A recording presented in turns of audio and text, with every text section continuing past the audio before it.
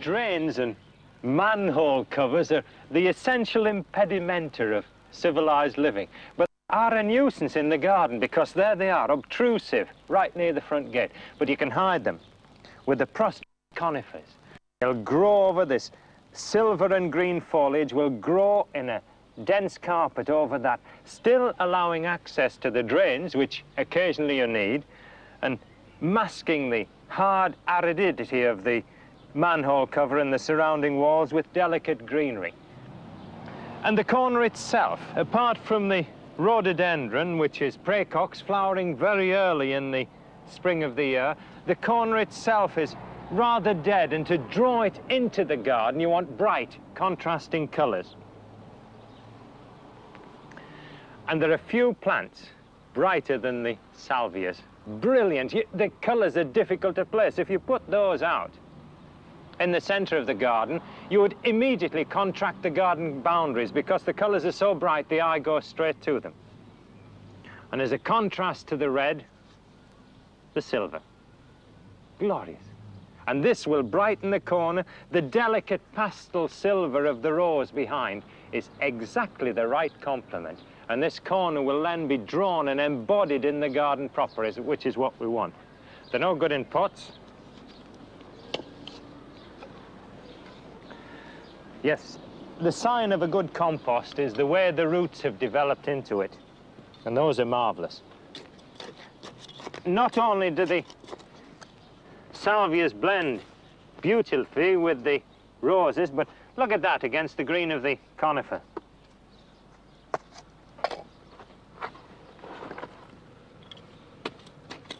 And a little silver to pick up the silver of the conifer. This will make quite a big bush.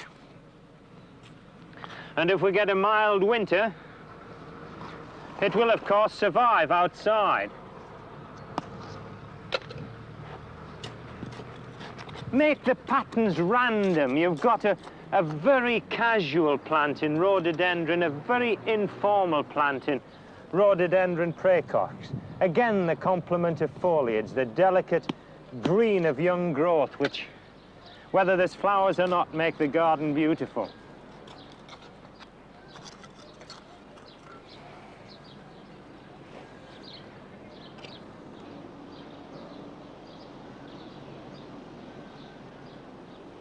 And I've got two plants left of the salvias.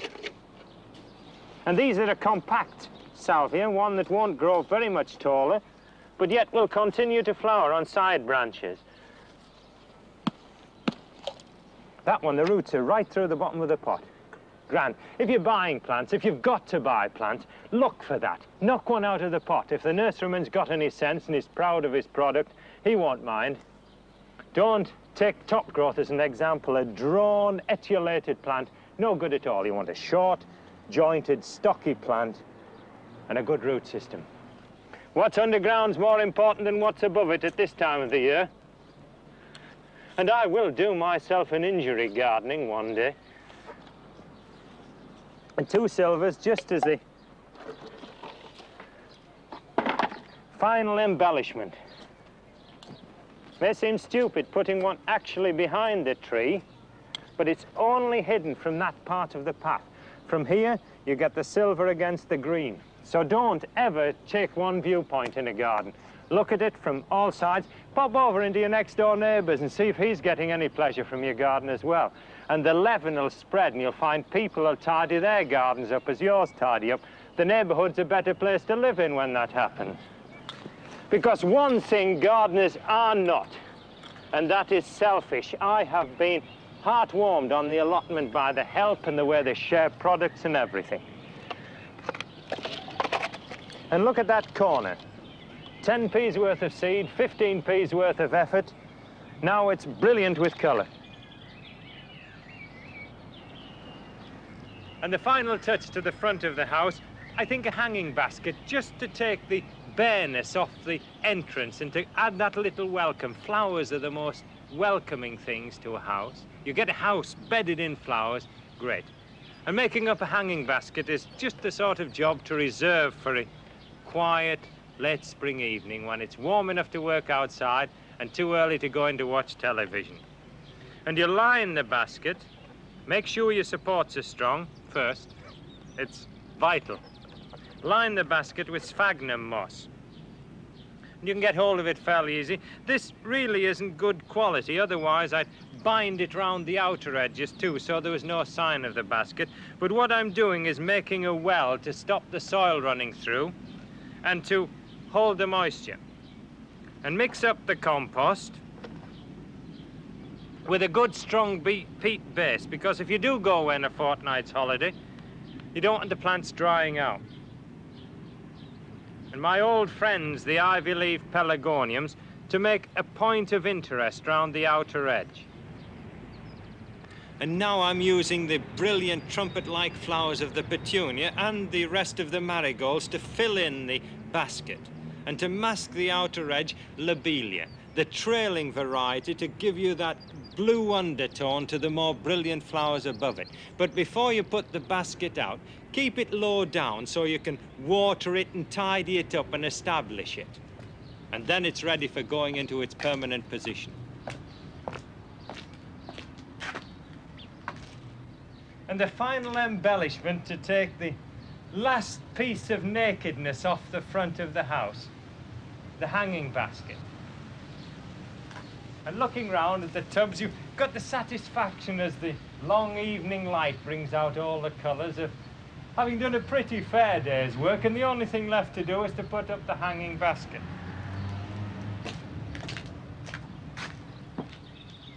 And that finished off the patio garden. The next day, I started to reclaim a derelict border in the back garden of a friend's house. And the first thing I noticed about it was the high hedge at the back. Now, the roots from that are going to grow through and compete with anything I plant in the border for nutriment and moisture. I widened it by about 18 inches or so, and that'll make all the difference. The next thing is to see if there's anything already planted in the border that's worth keeping. Don't rush in and lift your sedums and hostas and strip the border bare. It's a fatal mistake. This shrub, which is stopping the volume of wind coming down between the house and hedge, immediately you put a hedge in the house like that, you create a wind tunnel. No plant that I know likes that. Human beings don't like drafts. Plants don't like drafts, don't like being constantly teased by the wind. So you've got to leave that shrub there. Marvellous, a stopgap, and it gives you a background to paint the picture against. The acer will want moving forward a little bit because you've got one destroying the other. One of my favourite plants, the autumn flowering sedum. Now that will be a mass of red flowers, and if you've got children, you must have things that bring another sort of life into the garden. That will be a mass of butterflies because a garden isn't a thing just of shrubs and plants. It's a, a small, small microclimate, a small nature reserve, and it's all part of the interest. This is a wee bit too big, too tall for the scope of the border. It's going to dwarf the new flowering shrubs that are coming in. So that will be moved out into a corner by the greenhouse. It won't be wasted. The dahlias are expendable. The first frost will take care of those. So they can come out now. The liatris, which is a most unusual plant because the flowers open from the top down over. It's what I call an Australian plant. It does things in the reverse. That can stay because it's close enough to the front of the border, it's erect enough in habit to fit into the scheme. And this extra width, the extra 18 inches that we've taken off the lawn, hasn't spoilt the proportion. It's given us extra room to play with, but it hasn't destroyed what I call the essential balance of a garden. You've got a big, tall oak tree there. Now, this is a valuable tree in any garden because its roots go down instead of out along the soil surface. So you can plant right under that oak tree, provided you put something into the soil there to start them off. But it's all got to start here. It all starts with this stuff. That's what you've got to get ready. You've got to get it free of perennial weeds, of things like couch grass. And you've got to put the manure in that's going to be the reservoir of moisture for the newly planted things. And then when they're all in, because you do get dry weather, even in the British Isles you get dry weather, you put a mulch of rotted manure on top. And then with your soil in good heart, If you're looking after the roots, then surely the tops will look after themselves. And you don't get it done with talking. You get it done with a spade and a little bit of toil. Take your time about it. Have a cup of tea at regular intervals.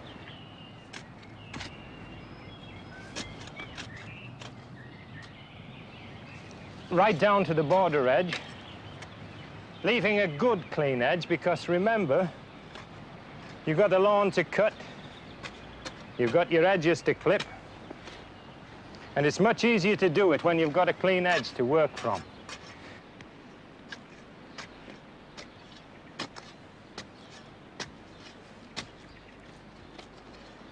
And while the spade's handy, I'll move the things that don't fit the border.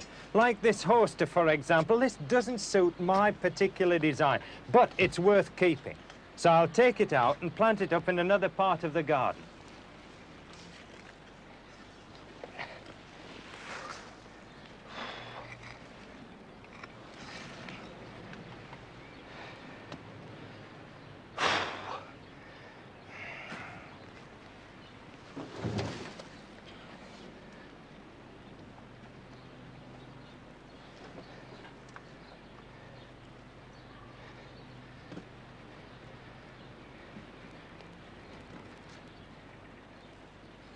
Now to start lifting the plants in flower, like the delphiniums, for instance, but make sure you've got plenty of soil on the roots.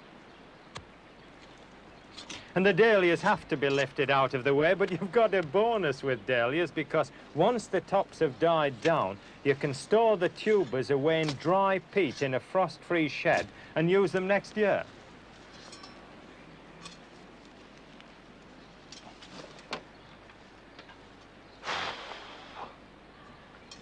When you're lifting plants in flower like this, make sure they have a good root ball. And that way they stand at least a fighting chance of survival when you replant them again.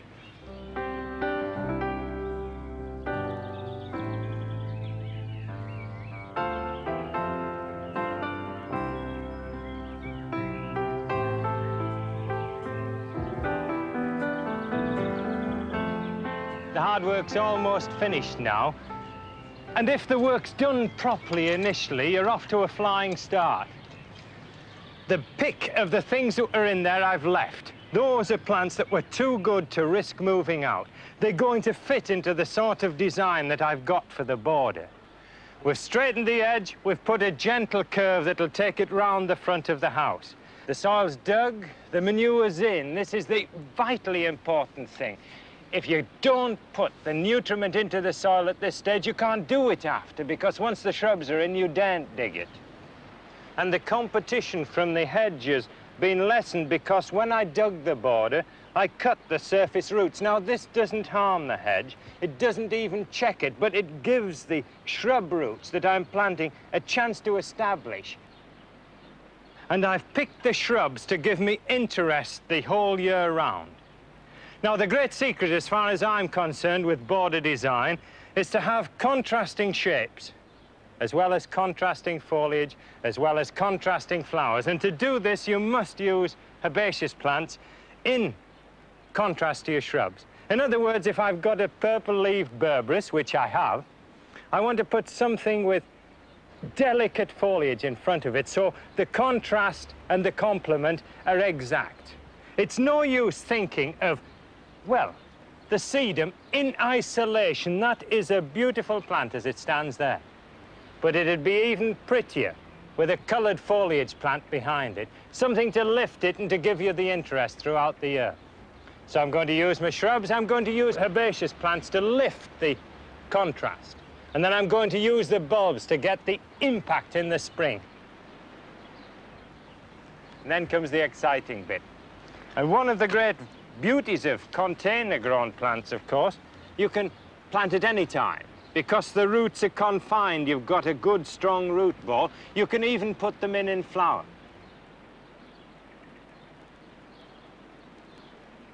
And the main vista down the garden is from the French window. So nothing must be done to interfere with that because the first view of the garden is vitally important. We're framing a picture, not detracting from it. So put it in position, and again the beauty of container-grown plants is emphasized. You can stand it there, you don't have to dig a hole. And you can step back, and that is just edging the French window. And because the cherry is so very upright, we want something to contrast with that. And this really is one of my favorite conifers. Foliage is soft yellow in spring and it's this lovely vibrant green during the summer. And then in the winter you get it dulling down like this, but the color's still there. Now, it will marry the terrace, the path and the lawn into the garden. It'll soften the hard outlines of the stone. It'll grow possibly four feet across, by three feet high in eight or nine years. And this is the great thing, to know precisely or within reasonable limits how big your shrubs are going to be. So back a little bit to give it a fighting chance to cover and soften into the path. And that should be fine. Oh, the acer, I must move this because it really is being spoilt. Because if I leave it any longer tucked under this shrub, there's going to be nothing at all at the back. There's no branches. The shrub is one-sided now. And what I'd like to do is lift it and use it as a, an impact point. As the border curves, you want to emphasize the curve, the line coming round by something, some strong personality shrub. And plants are like people have got personality. And this is where the hard work, I thought it was finished. It starts over again. Be careful.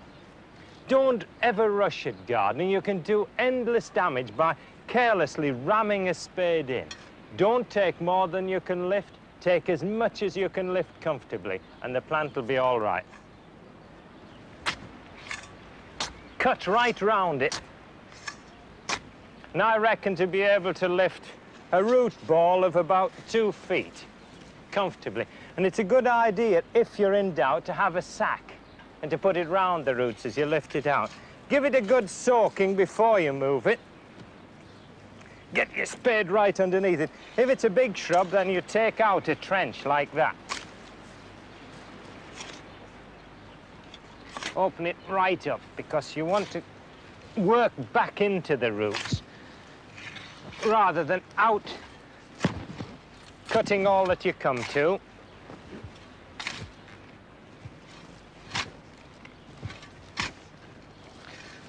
Then you get in on one knee and really attack it so you cut the roots from underneath.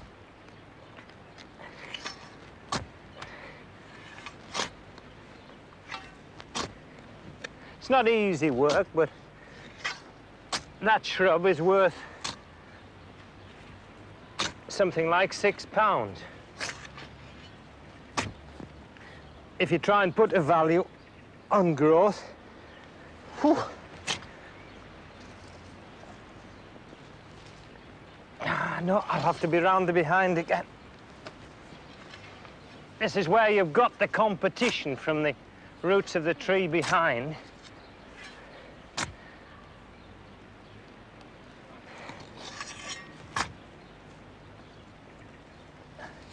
Oh, beautiful. Marvelous. One of the things that can kill shrubs is planting them too deep. You want no deeper than the shrub was originally planted to. Use your hands. Firm it in. Work it in round the fine roots. Get into, get your fingers in the soil. It's a grand sensation.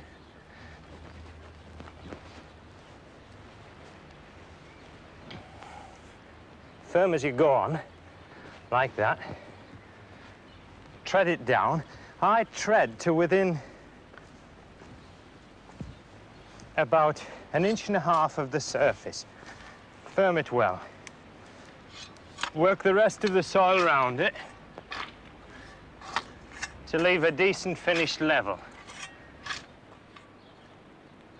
They're like children, you've got to water them and feed them and give them a pat on the head occasionally. Because if you neglect any part. You can neglect them a little bit when you go away on holiday, but neglect them too much, you get exactly out of gardening what you put into it.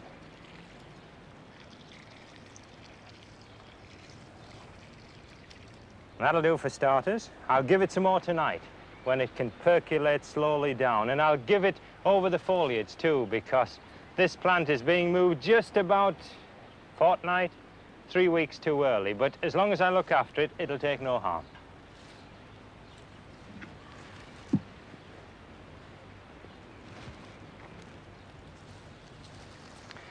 I've got a feeling that that one would be better planted. This was a spare plant in the front garden.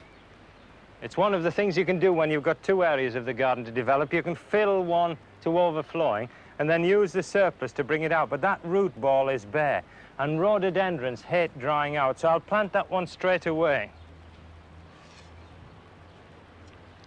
And they are one thing that doesn't like deep planting. And the other point is that this flowers very early in spring in February, which means you're not walking around the garden very much in February, so plant it so you can see it from the most used room in the house. In this case, the room with the French window. If in doubt with rhododendrons, shallow plant and then build them up with peat. And if you look deep in the center of the leaves, there's the promise of next year's flowers. You get the pinky mauve flowers coming in there, masses of them, not just one or two. It's a lovely thing, and the flowers will get that little bit of shelter from the taller shrub behind. Lovely. Now, that flowers in spring, so I want a herbaceous plant in to pick it up that flowers later in the year.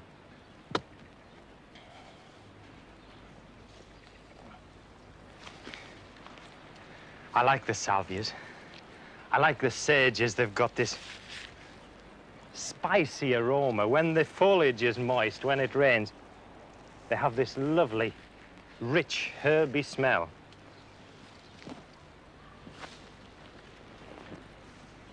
Grey and blue. No, just a little bit more to the left.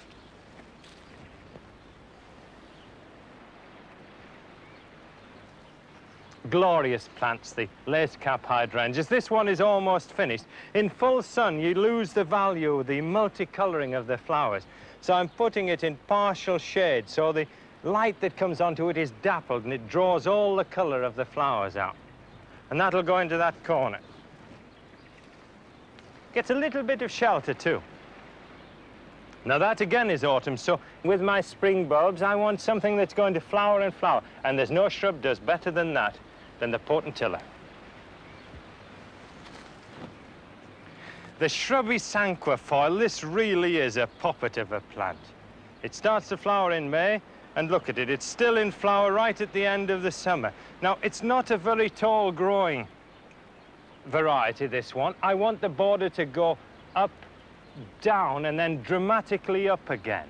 So I'm using a potentilla which will grow two feet, 30 inches high. Yellow flowers. Now then, problems. Something with foliage.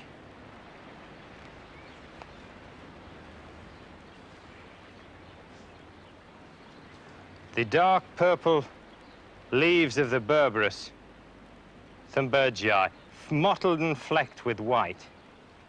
Now that foliage is there right through the summer and then it deepens and intensifies in the autumn. And this one's called Rose Glow. It truly describes it. When the sun lights on it, the color is picked up, it becomes luminous. And that will contrast very pleasantly with the color of the potentilla. And the border now is becoming too light. There's not enough body in the foliage plant. So, a Hebe. Simon Delaux has rather ponderous leaves. The flowers are delicate. This is a truly beautiful shrub. Now, in some gardens, this isn't quite hard. It's not a, a, shrub that I would grow if my garden was very exposed. But with the shelter of the hedge, I'll get away with it. And you can see the pattern beginning to build up, how the colors blend and then contrast and complement each other and how the interest is continuous down the border. The shrubs are the framework that are going to carry the herbaceous plants, which of course lose the tops during the, the winter time. And I think Helenium Crimson Beauty, if you put that colour in shade, it would deaden it. If you put it in sunlight so it catches the evening sunlight, all the richness of the bronze is carried out. So that can go behind there because it's tall enough to carry the flowers above the sedum. The dark red in autumn, the purple of the hebe in autumn, the potentilla for the spring, the perennial foliage interest of the berberis. Now, I left some phlox in the border, a white one in this case, so I can thicken that group a little bit. There's a Kniphofia in beside it, and I can afford to let these two mingle. Don't be frightened to mix plants up. What would a Christmas pudding be like if you kept all the ingredients separate? Use them. And that one is scented. White Admiral. A development. I used to grow white, an old-fashioned white in the cottage garden. This is dwarfer, more compact. It fits into the narrowness of the border. But so many of the phlox are fragrant. And what is a garden without fragrance? What is a garden without bird life and all the rest of it? And because the border is small, you can't afford to have continuous color themes. So, because this theme started as phlox, put a pink one in, and then behind, to throw all the other colors into really bold relief, a darker colored one. And there's a little group with geum in front of it and asclepias, real cottage garden flowers. And I've noticed I've made a mistake there. I've put a hebe in. This happens. I don't profess to get things right first time. And when I look at that, the hebe is too far back. I'm losing the value of that foliage by having the dark heads behind. So pull it forward a touch. A little bit more. And I've got a delphinium with light flowers.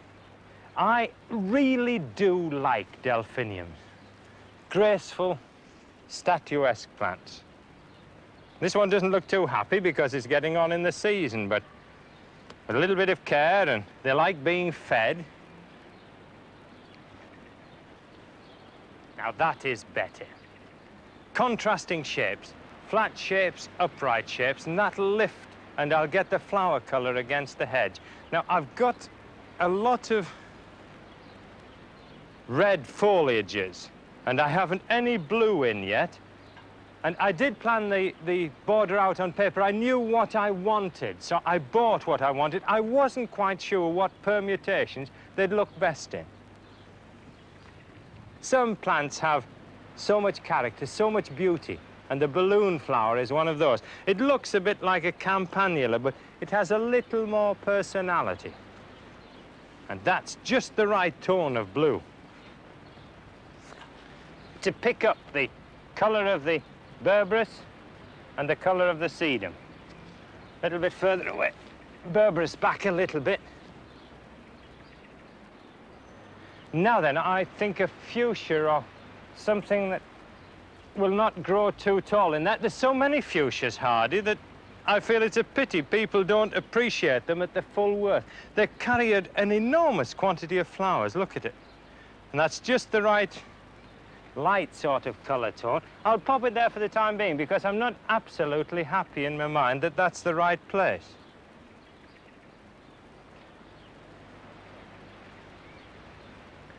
And shade isn't something you should grumble about in a garden because there are some plants that almost demand it.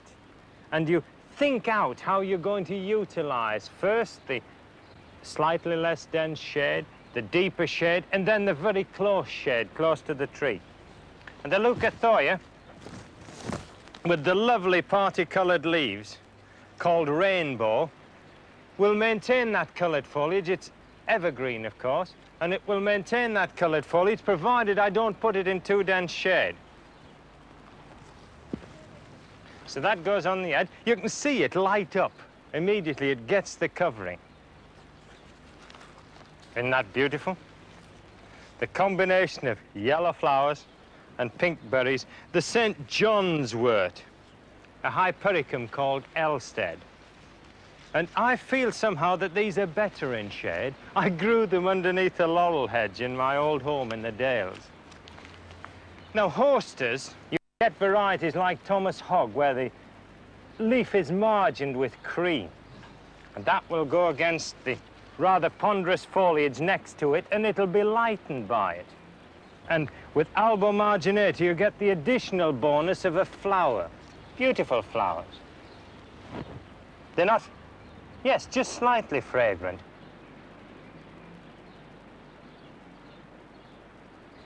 Anemones, plants of childhood. I grew up with a massed border of these. Now, there was two anemones left in, one behind, one in front. Now, that makes a group the grey-leaved Santolina I would always have in a garden. Cotton lavender.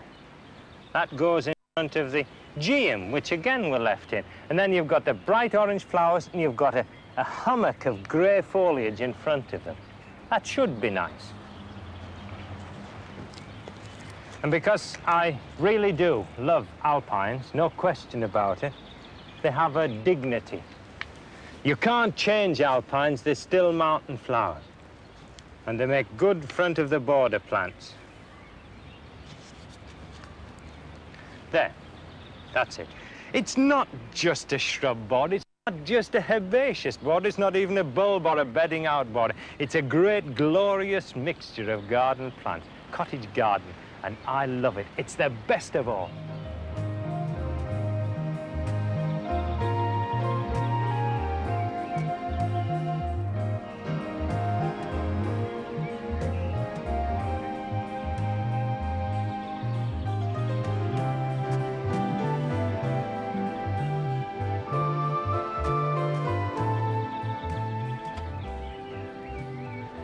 Plants are all neatly arranged to my satisfaction, I can actually start putting them into position. And this is one thing that never palls, the business of handling plants, of putting them in the soil, of putting bulbs in, and then of seeing them grow. And the increase in beauty every year is the satisfaction of a job well done. And as always, make the hole big enough to contain it easily. And remember when you're planting that the hallmark of a good gardener too is once he's got a plant under his hands, he always has it.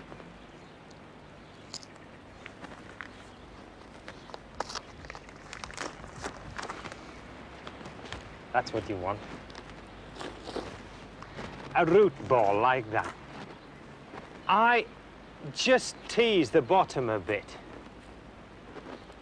Just enough to, to bring the roots out, to stop them wrapping round and staying in the ball, to fetch them, not round the edges, but at the bottom.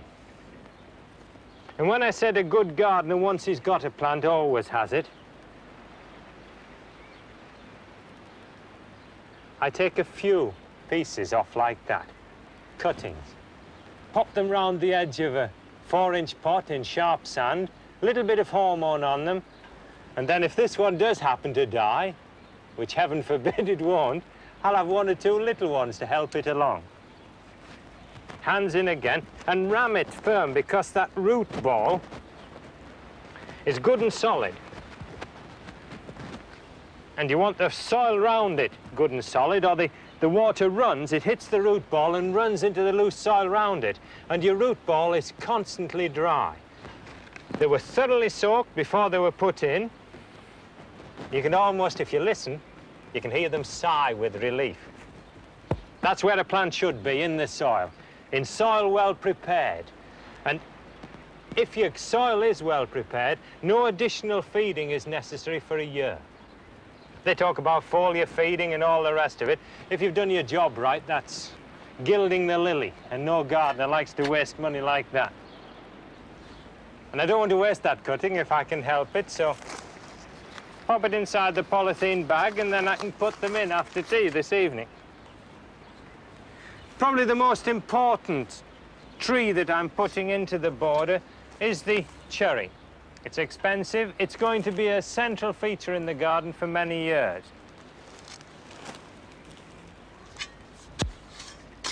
It's got to be exactly right. If that fails, then really the rest of the border has lost out. And I still haven't got all that wicken grass, and that's important. As you see it, pick it up. Every time there's a, a little piece of green shows above the ground, pull it out. And that's where you eventually tease it to death.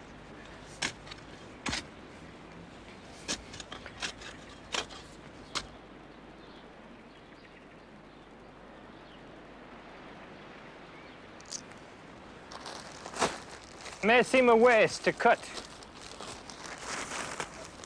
polythene bags like that, but this is a big plant, and I don't want to knock its roots about. Slit it down the back. Oh, that is beautiful. It really is. Take the weeds off the top.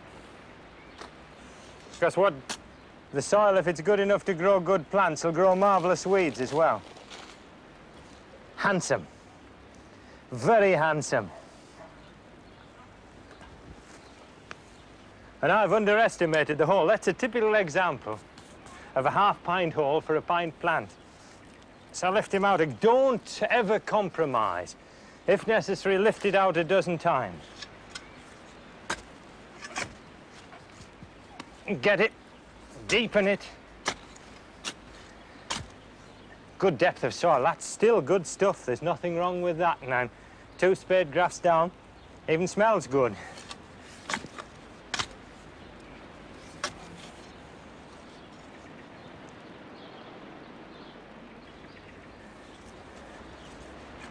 Make sure that you've got it lined up in the right place too. Knock the edges of the hole in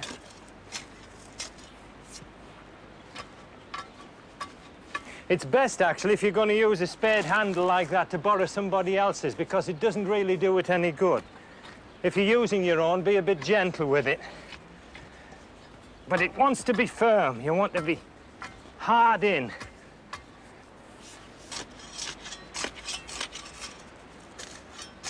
And you can't take cuttings of cherry, well, not this particular cherry anyway. They're usually grafted. You can see where the point of graft is and watch that. If any growths come from below ground level, then they're not the cherry you want, so take them off. Pull them off, treat the wound with some sort of preservative. Stockholm tar is probably as good as any.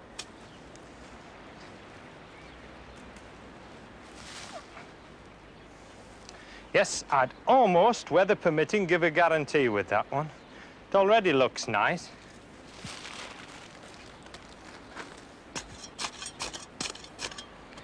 The rhododendron, I lifted out of the front garden, I watered it, but I'm going to mulch that when the border's finished.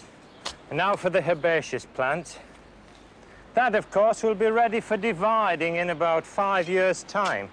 So it's better than putting money in the bank. I'm going to get five for one. If anybody can give me that sort of return on money, then I'll be delighted to bank with them.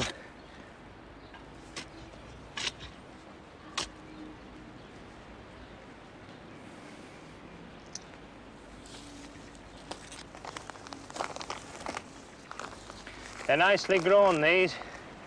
You don't mind paying good money for plants that are in fair condition. And the hands are still the best implement for firming herbaceous plants in.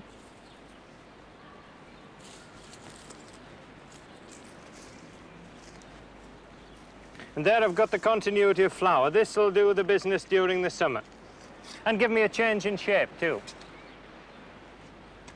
and the hydrangea, of course, and, and by planting them like this, you get the contrast. I mean, the rather upright habit of the salvia, and then suddenly the delicate formation of the hydrangea. I really do like them. And this one's in a pot. And even though it's over the hill, you can still get some idea of the beauty of the plant. I'll leave the canes on it because they'll help to support it until it gets established. Ah, there's a crock in here, what gardeners call a piece of old pot just to block the drainage hole. Loosen the roots at the bottom because when a plant is as pot-bound as this, it tends to stay in there and starve itself to death, which seems a bit ridiculous.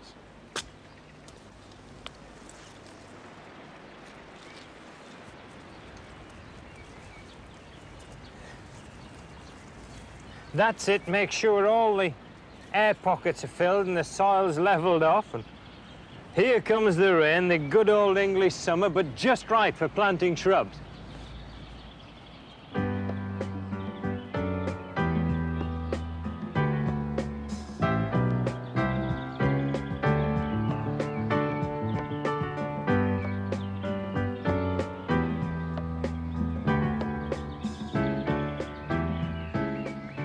Drop of rain's just made all the difference in the world. Now to my real cottage garden favourite. That colour will intensify. One of the things with delphiniums is that you don't really get a true representation of the plant until about the third year. They're not flowering, as we say, in character. So don't be disappointed if they look like a, a slightly underfed larkspur at this stage. They'll make up if your soil's right. And that's one thing anybody can do. Get the soil right. Because all you need is a good spade and a bit of hard work. I've often said the best fertilizer for any garden is sweat.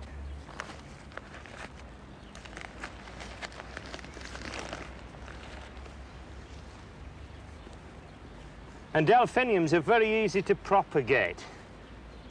When the young shoots come up in spring, There'll probably be, what, a dozen shoots come out of the ground next spring. I don't want a dozen. I want to thin them down until this plant's established, until there's only three, possibly, or four.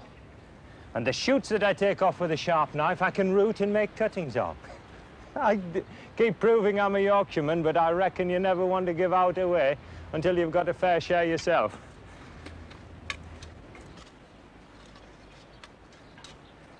Suppose all gardeners find an irresistible urge to make cuttings of everything they grow, but it's one of the fascinating parts of gardening that you can propagate so many things so easily. And in my Yorkshire garden, I found that there was about 16 varieties of fuchsia hardy. So provided you insist on a hardy one,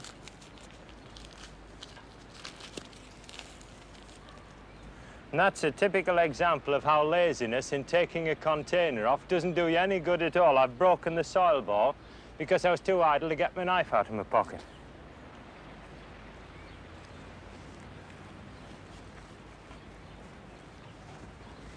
All you can do is apologize to the plant, take the broken piece off, make sure you can remember the name, and don't do the same daft trick twice. Step back, have another little look. Take the rubbish out.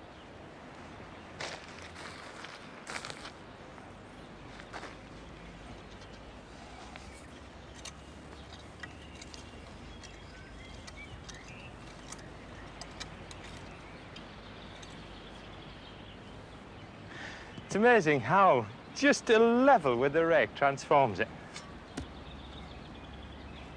Santolina, that's a different sort of pot the Santolina's in. It's made of peat. Now, never put a plant into the garden with a peat pot that's dry. The roots never come through. Never put a plant into the garden whose roots aren't through the bottom of a peat pot. Otherwise, they stay.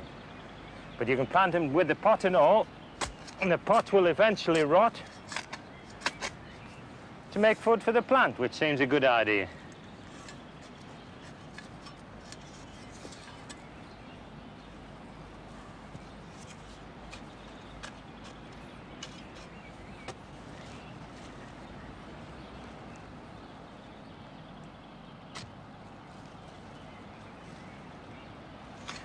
We're starting to get into the shade area underneath the tree now. And one of the things to remember if you're planting variegated shrubs Don't put them in too dense shade. Otherwise, you lose the intensity of the variegation, which is a pity, because that's the whole beauty of the shrub. That is lovely. You've got that all the year round. Glorious in winter when it's rimed with hoar frost. Entirely different root system, a fibrous root system. Uh, more or less what I call a rhododendron root system, which means that plant in nine cases out of 10 likes a peaty, oozy soil. Don't put it in too deep. Can be fatal with a very fine root system like that. It's much better to plant it a little less deeply and then build up round it with compost or well-rotted manure even peat.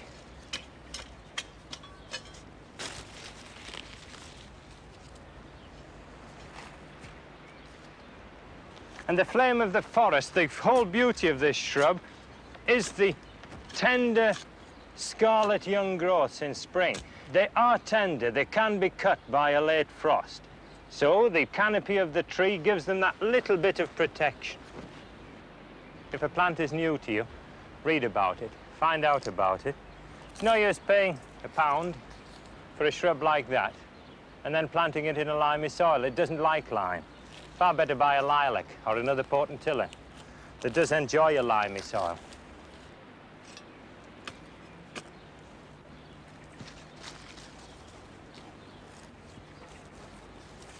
And that one definitely wants some peat around it.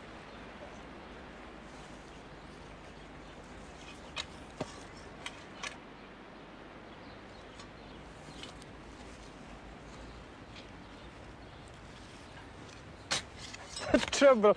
I've got an awful tendency to linger admiring things.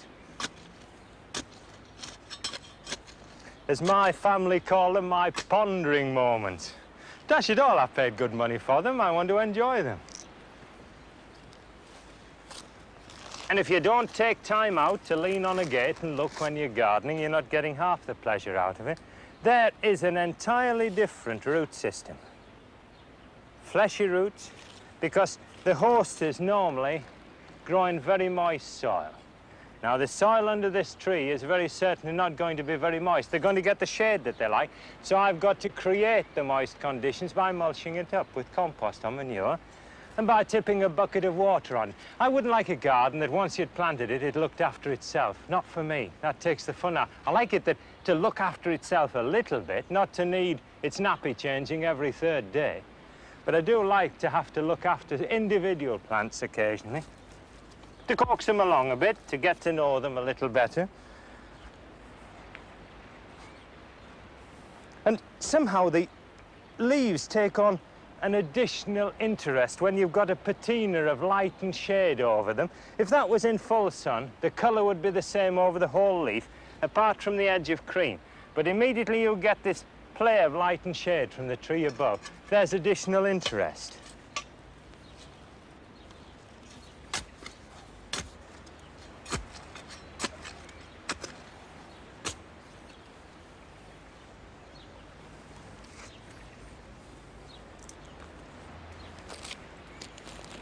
Ah, that's a powerful root system. I bet that one's a good trencherman. Doesn't need to pull its chair up to table either. Taller at the back.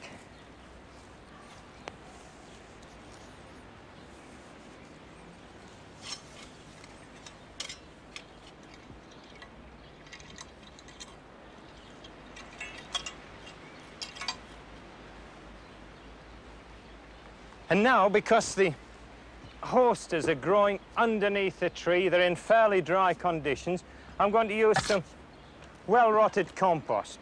Beautiful stuff, that. Almost gone back to soil again, but it's rich in humus. The moisture-holding potential of that is about 20 times its own weight.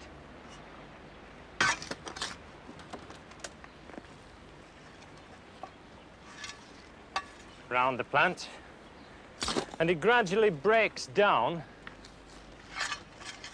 and improves the soil as well.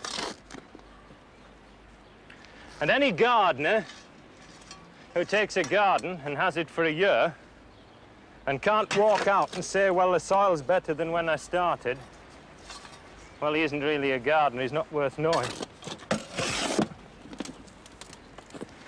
The shrubs that were in containers, of course, won't need a mulch until spring. But the ones that I dug up and moved from one part of the garden to another, I'm going to do them now. I've just got enough left to do it.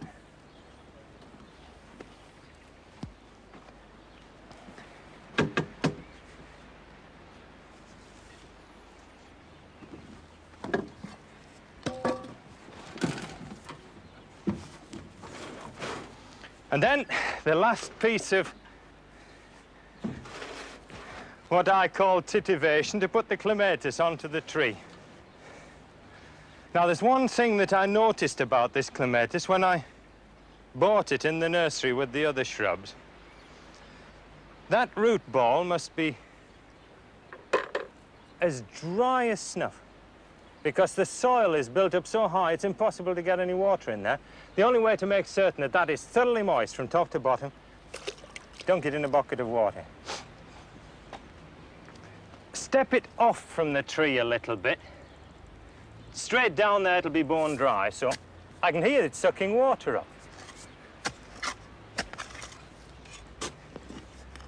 That's the beauty of oak trees. You couldn't do that with a silver birch or, or with an ash tree. You see, there's no surface roots.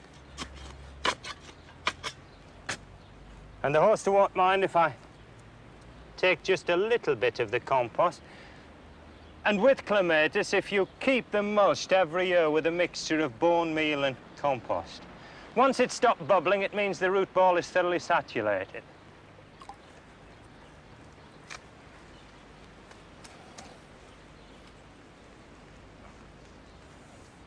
I can actually plant that with the pot still on it if I was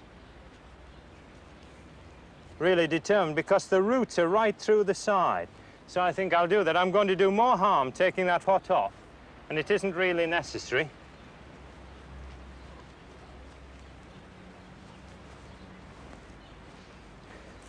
Leave the cane in like that. I'll put a tie round it, and this is a Clematis montana rubens. Vigorous, it'll go up this tree, along that branch, it'll hang down in a pink, very sweetly scented curtain. I hope. You can't guarantee anything in gardening, except I'll guarantee next spring's going to come. And that at least some of the things that I've planted are going to come up. And all that remains to be done is to water the plants in. But remember, if you're planting in late evening and there's a threat of cold weather, forget the watering till next morning. Get up early and do it before the sun's on the foliage. And I've left spaces between the shrubs because it's there I'll be planting up my spring flowering bulbs, like the daffodils, like the crocus and my own favourite snowdrops. And this way, with the shrubs and herbaceous plants, I'll have a colourful garden all the year round. This has to be the best part of the day. The job's finished. I'm pleasantly tired comfortably relaxed and I've got the satisfaction of having seen a garden grow under my hands. That's the beauty of making a border of this sort. You look back at the end of the day and you can see exactly what you've done and you can take an immense satisfaction in it. I only hope my friend who owns the border gets as much pleasure out of watching it growing because it's going to take years. It's not just a thing of a moment. The shrubs have got to mature. It's beautiful now. It'll be incredibly beautiful, I hope, in five years' time.